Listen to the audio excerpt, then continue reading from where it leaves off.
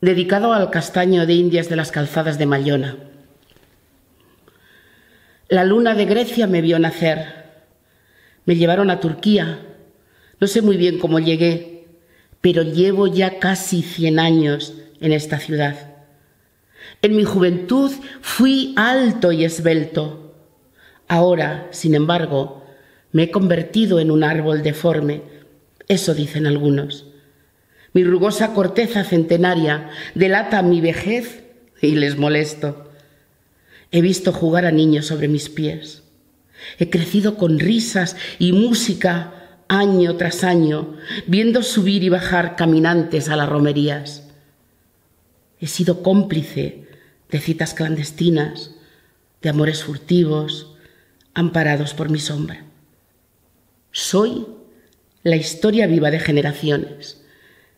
Pero ahora les estorbo, molesto, quito luz, me quieren matar, arrancar mis raíces, silenciar para siempre el suave aleteo de mis ramas.